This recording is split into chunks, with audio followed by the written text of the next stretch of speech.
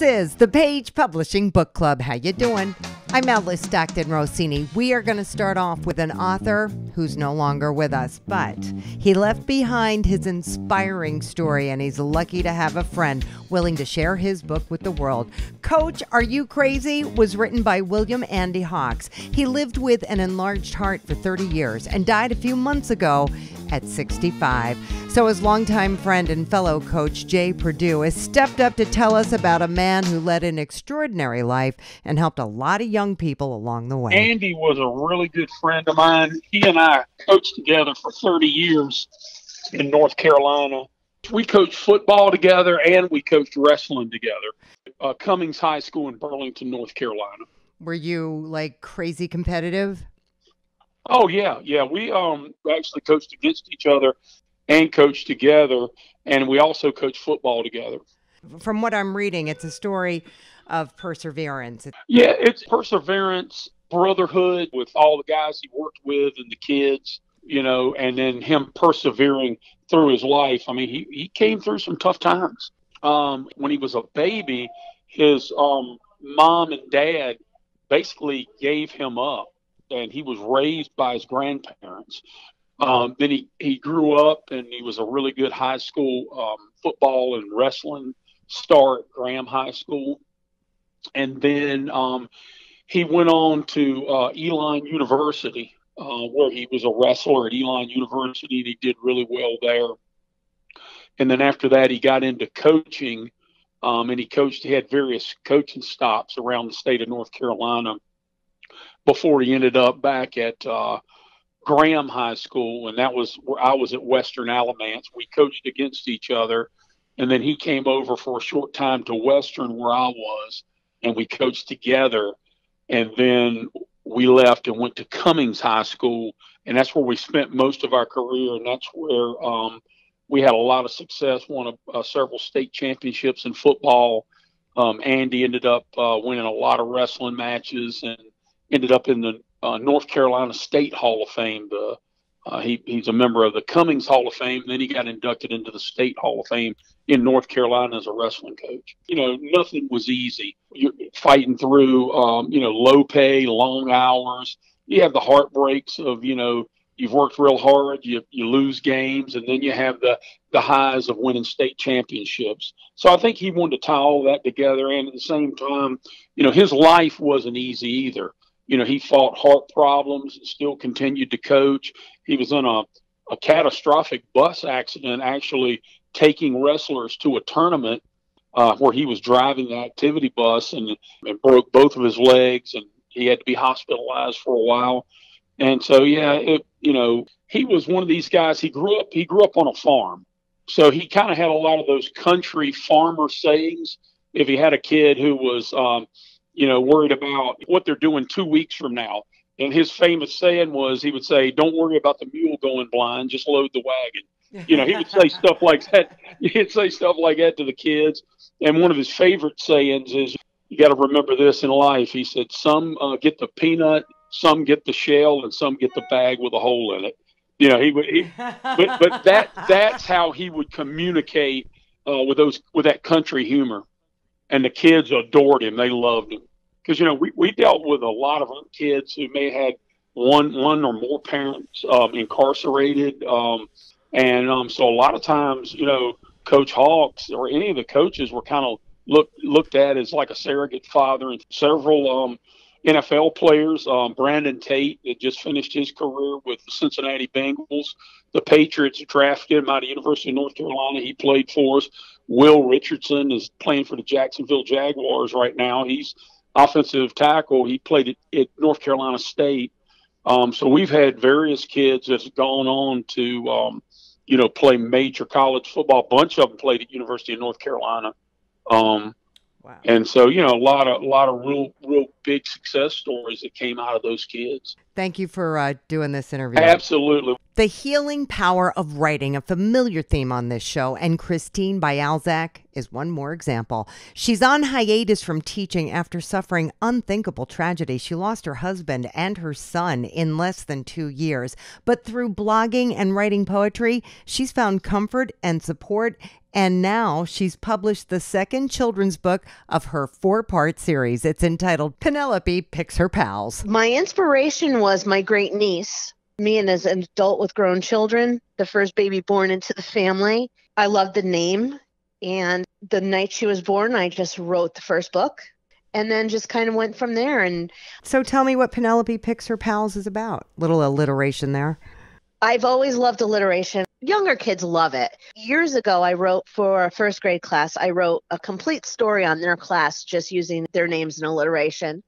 Kids love seeing their names in print so as I went through each letter of the alphabet, of course, I thought of, you know, my friends and their children's names. So most of the names in the book are of good friends of their children or grandchildren, you know, people that I know, because I figure, you know what, what's better than, you know, sharing my writing and then saying, oh, but make sure you look for your name in this. It's just about, it's just about Penelope going to school and pretty much going around and introducing all of our friends. And it starts with Ava and I think it ends with Zachary. It just talks a little bit about each kid, one or two sentences, just saying something nice about the child and how they learn or how they act at school. From a child's perspective, even though the vocabulary is a little bit higher, it's definitely a book to read to children. In in one of my public readings at a library, I found that it's a tongue twister which the kids the kids actually they really like and they they thought it was really funny. Of course they did. so even in you know in that in that one reading i was able to talk to the children you know sitting in front of me and say well what's your name and you know what words can we find to describe your name and so it was really fun it was just a way of of connecting and you know just having kids think about themselves you know, with positive adjectives, I guess you'd say. So, do you do a lot of readings? I've done a few. I have a few libraries that, you know, have said contact me in the spring when things slow down. Well, also there's summer programs and reading programs and right. you could be reading every day, I'm sure. Oh, definitely, definitely. And actually over over Christmas vacation, I sat to and from Florida. I sat with the principal of uh, Sandy Hook Elementary you know, he, so he's invited me to go read to his to his school. That's yeah, nice. so it's it's it's nice. It's it's a great way to make connections. All of my Penelope um, pictures, I guess, of her are on different kinds of merchandise. So there is merchandise with her on it. That's great. That's great. Yeah. All right. Yeah. So, so I carry all my stuff around in my Penelope bag, and I have my Penelope stickers and bookmarks and that kind of thing. So yeah, it's fun. It's I I absolutely love it. I love kids. I love and I love writing, so it's perfect combination. Elliot Mason is a freelance writer in Southern California, so you'd think writing his first novel, The Arlington Orders, would be a natural, right? Not so fast. Initially, I was really intimidated by it, to be honest with you. Uh, the I had a lot of ideas, but the idea of actually writing a full fledged novel was uh, something I wasn't anticipating. But um, I learned kind of a trick very early on was not to write in a linear fashion. Never go chapter one, chapter two, chapter three. That that is the kiss of death for a writer, I think, because it allows uh, or it creates a problem in terms of getting writer's block. And what I learned to do was I learned to write a single scene out. And when I write that single scene out, basically, I don't know if that's going to be chapter one or chapter 41, but I'll keep on doing that. And maybe sometimes I'll just write a paragraph to it. And eventually, what I'll do is I'll write enough chapters and then be able to kind of jigsaw it together into a, a constructive story. And uh, that's kind of how I learned how to do it. You know, it's much different writing a you know a 400 page book as opposed to a 500 word article. so it, it, there's a huge difference between that and carrying a storyline and developing characters in that nature. So um, it comes much easier now because the intimidation factor is no longer there. I kind of have a method about it. So. And you picked. I mean, this is a this is an historical novel, right? Yes, it's historical fiction, and it's actually. Um, I've always been fascinated with history. I was a history major in college, and I've been a big fan of people like Dan Brown. So the idea of writing historical fiction really appealed to me. Uh, this book is actually based on a real life incident that happened during the Civil War.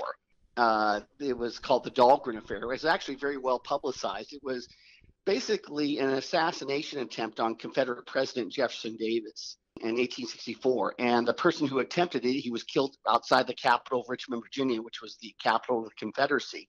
And uh, when the Confederates searched his body, they found a set of orders on him. And the order said, You are to kill President Davis, you are to kill everybody in the Confederate government, and you are to burn Richmond to the ground.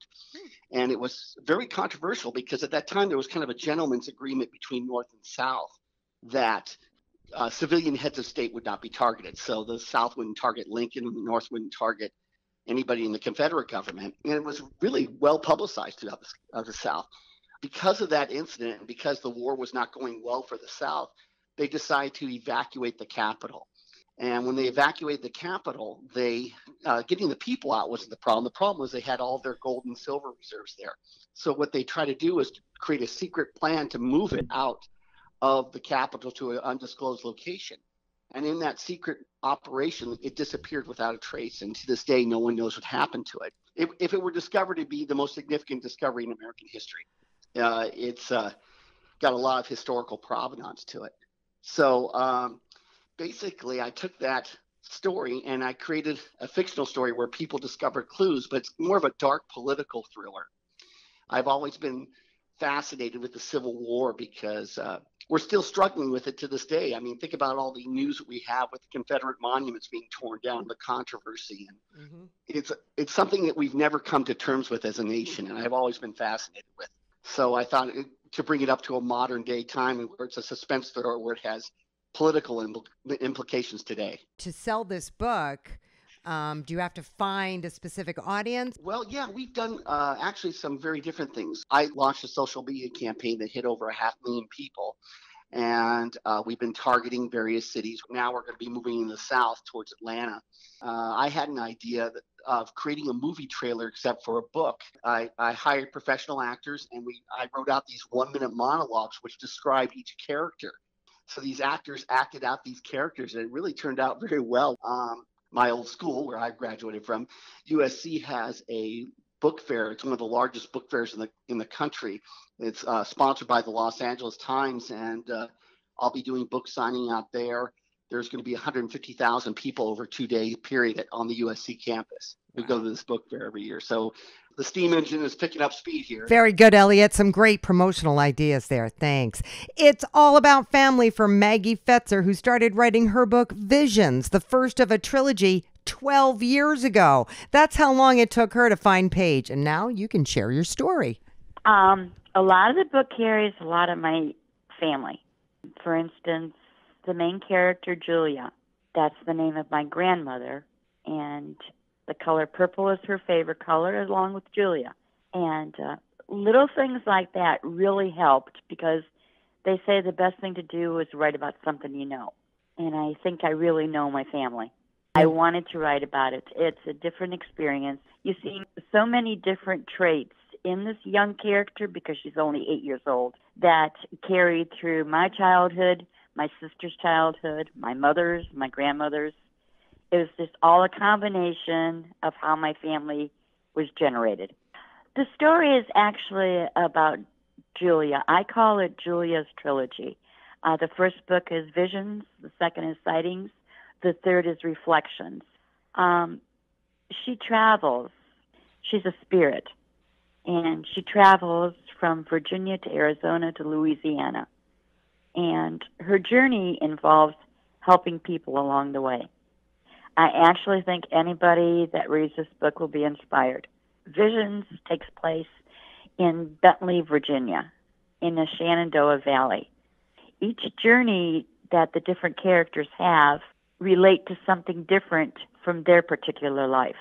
Ellie is a young woman that Julia guides to a better life. She moves from Manhattan, New York to Benvi, Virginia, and she creates a bed and breakfast because she loves people and she wants to entertain. She's a single woman. She meets the love of her life and begins a new life with him. Ellie was in a marriage where she was degraded, more or less mentally abused. And she did not want to live her life that way. And she was fearful of making a big change. But the fact that she lost all of her very close knit family within a very short period of time left her standing alone to face the world. So Julia was quite the inspiration to keep her more or less involved in the future and opened her eyes to see that there is a different life out there for you. I guess I guess you could say Vision is um, a happy feel good book, which I think in this world we need more of. Yeah, I do too. Thanks for that. Yeah, I did have a couple of book signings, a Barnes and Noble here in Mansfield, Ohio, that is closed, and I am scheduling one for Sandusky, Ohio, that was pretty close to my location. And um, the book signings, I think they go well as long as the store advertises. And I guess I need that website in order to get myself to advertise. Or Twitter. That's Yeah, right. Entice and them. word of mouth is real good advertisement, but you know those words just get so far. now, um, the second book sightings is actually in cover design right now. Oh, okay. So we'll be talking again real soon, right? I hope so. All right, Maggie.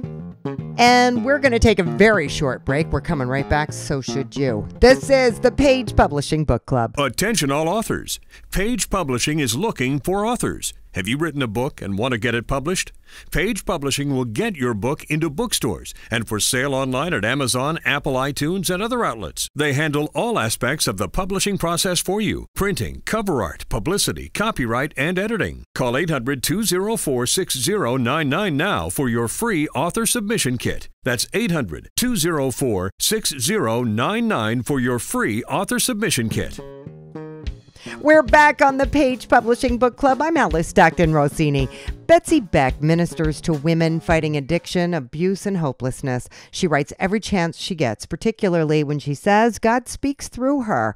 And now she's published God's Ultimate Love. I really just had thought it was kind for myself just to go back and read when I was like in a down place and I'd go back and read it and it would just lift my spirits up.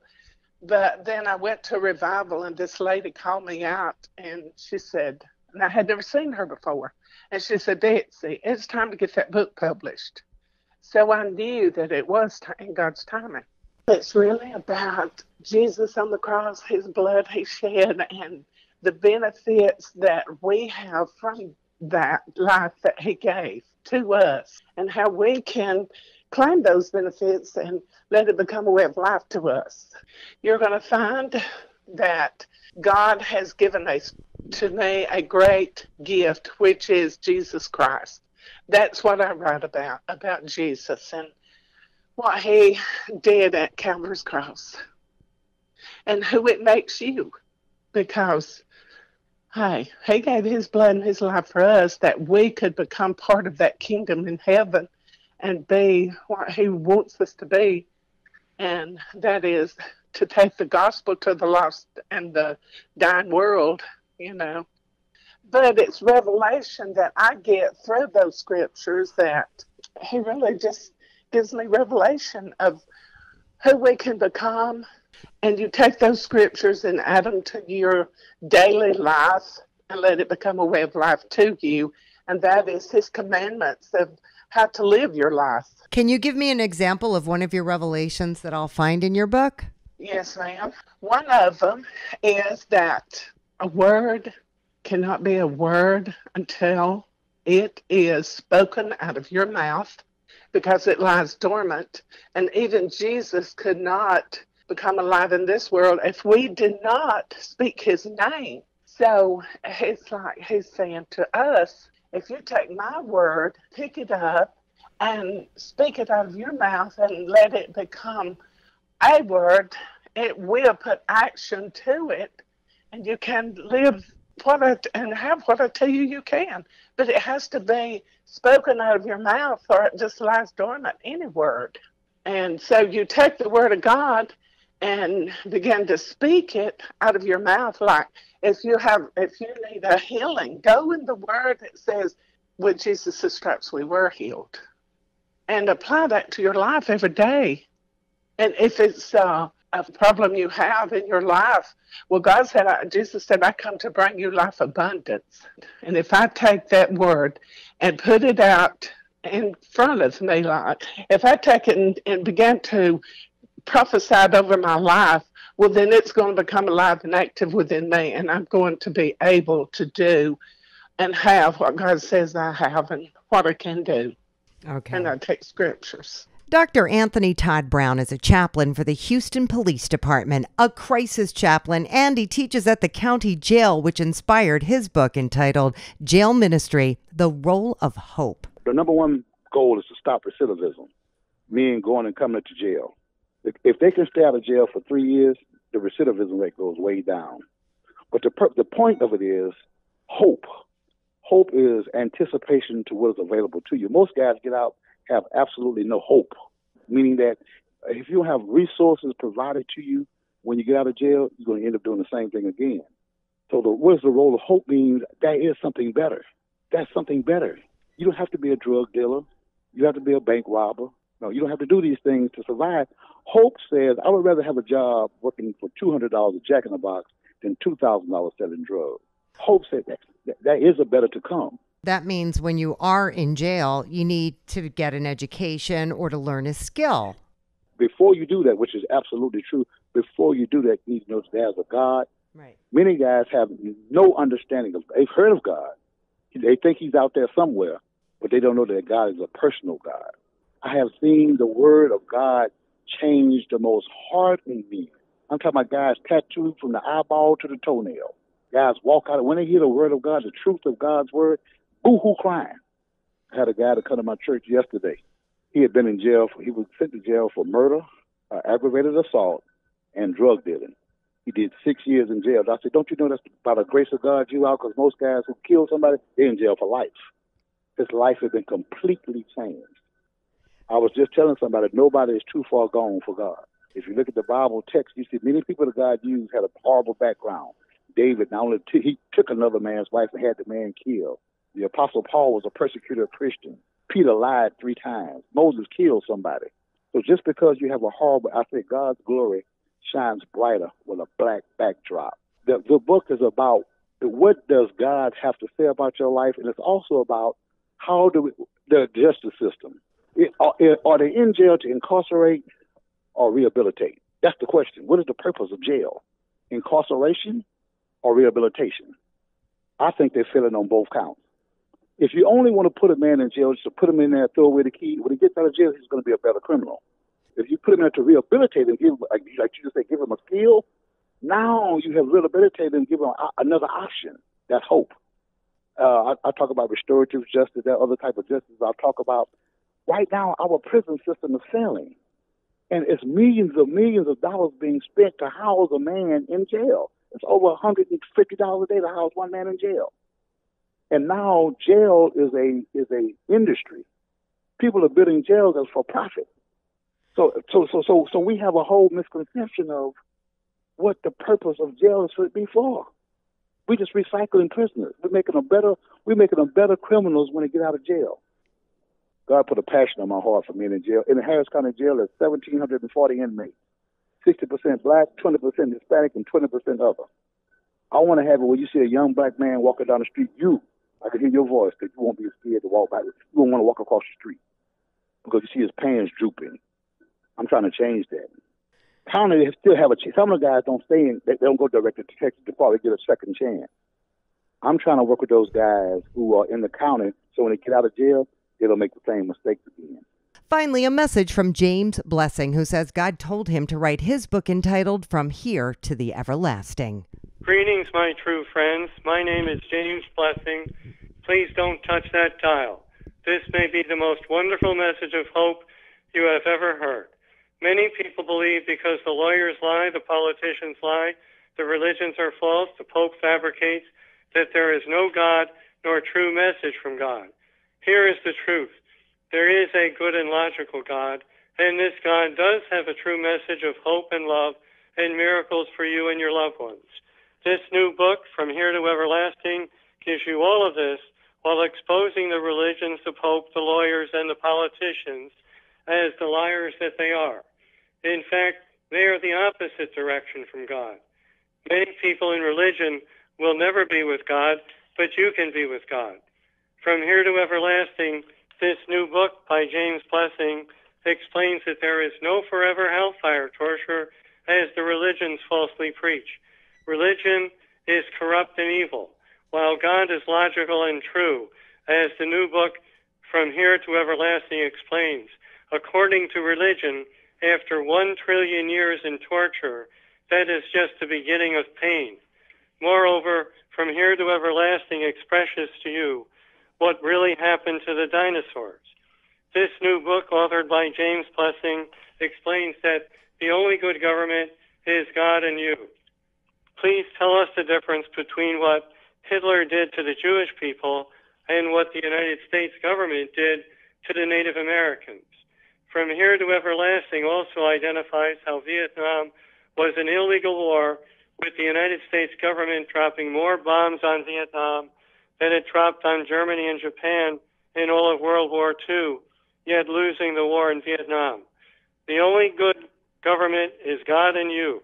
From Here to Everlasting gives you this true hope in this new book available at Amazon.